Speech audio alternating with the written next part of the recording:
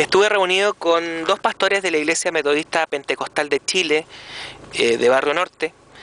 Estuve específicamente con el pastor Jaime Zarzosa y otro pastor que le acompañaba. Y estuvimos revisando eh, de qué forma podemos ayudar a poder reconstruir este, esta iglesia que quedó, eh, digamos, muy a mal traer tras el terremoto. Hay que ver de qué forma podemos colaborar a demolerla y también eh, posteriormente de qué forma podemos colaborar a financiar el terreno, a terminar de comprar el terreno y a reconstruir eh, la iglesia sobre ese terreno eh, en cuestión.